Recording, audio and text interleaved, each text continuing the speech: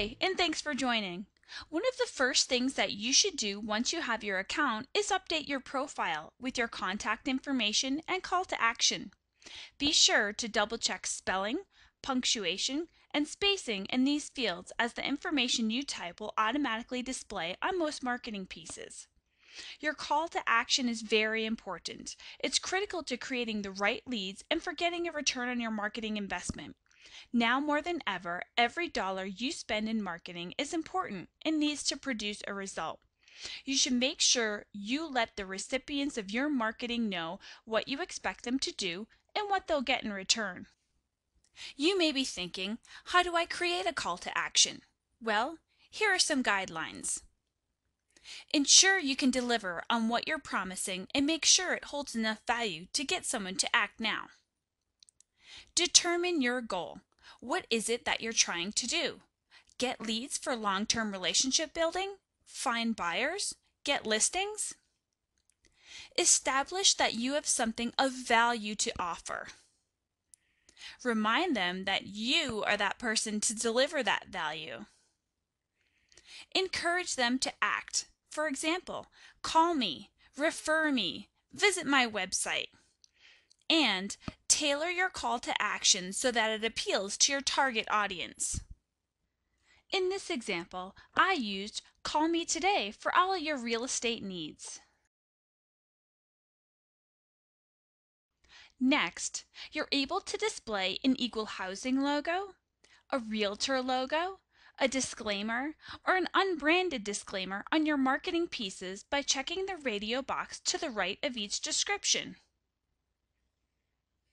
When sending emails to customers and prospects, you can display up to two social networking icons with your email signature.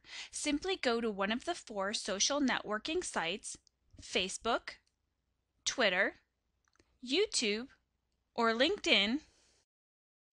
Copy the URL from your profile page and paste it into the appropriate URL area of the My Profile section in your account. Be sure to select the corresponding description to the right of the URL space.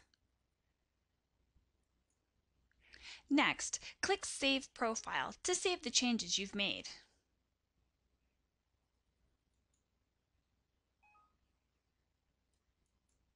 Your email signature will look like this.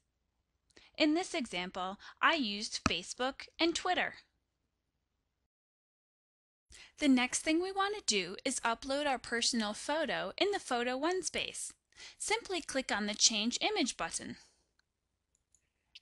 Click Upload Image. Select Browse to get your image. Click on the image of choice and select Open. Next, we want to title our image something that we'll remember in the future. And click Upload Image. A message box will display informing us that our new image has been uploaded and we must click on Save Profile in order to use this image. Click OK. And Save Profile.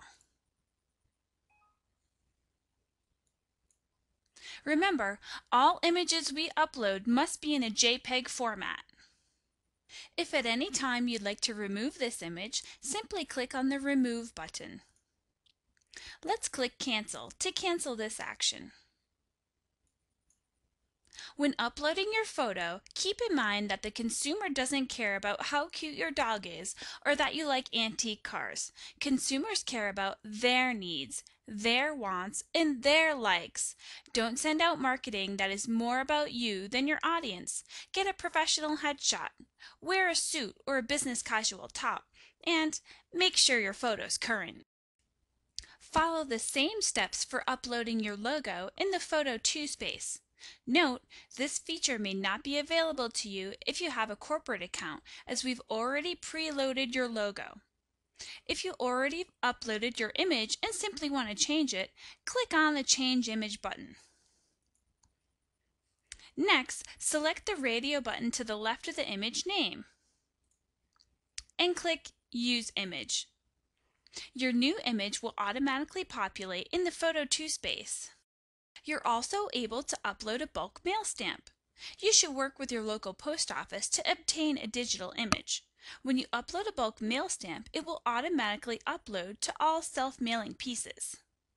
Finally, ensure all information in your profile is error-free as most fields will automatically populate any marketing material you send out via email or direct mail.